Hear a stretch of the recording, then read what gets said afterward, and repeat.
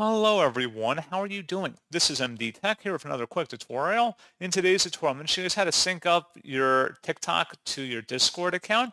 So if you want to link up the two accounts in today's tutorial, I'm going to show you how. And without further ado, let's go ahead and jump right into it. So all you have to do is open up Discord and select the U icon down the bottom corner to open up your profile page.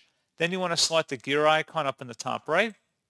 And then underneath account settings, you want to select where it says connections and then select the little plus symbol right above versus no connections, or there might already be connections in there, but you want to expand all the connections basically, and you want to locate where it says TikTok, go ahead and select that, and then you will need to sign into your TikTok account to sync everything up, but it should be a pretty straightforward process from here.